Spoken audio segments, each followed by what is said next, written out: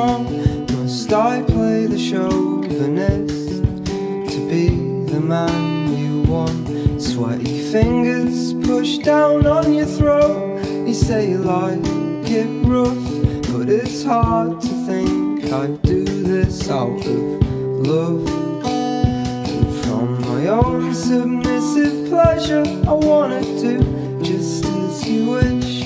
But I slap your face too lightly you ask me to make fists. Kiss me softly, do not bite. We can explore like naughty kids. You say you're bored, want dominating, and I just stare and flinch.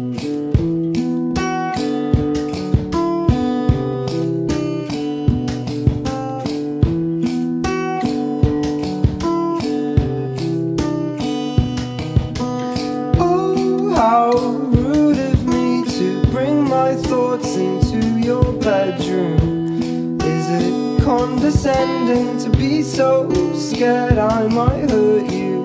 Oh, how rude of me to bring my thoughts into your bedroom.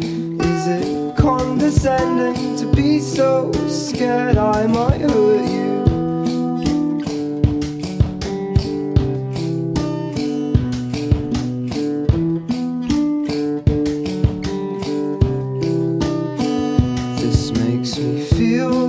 Like a weak man who thinks that he is strong. Must I play the chauvinist